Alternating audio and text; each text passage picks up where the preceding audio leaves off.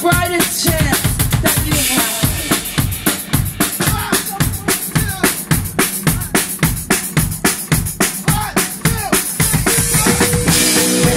One, two, three.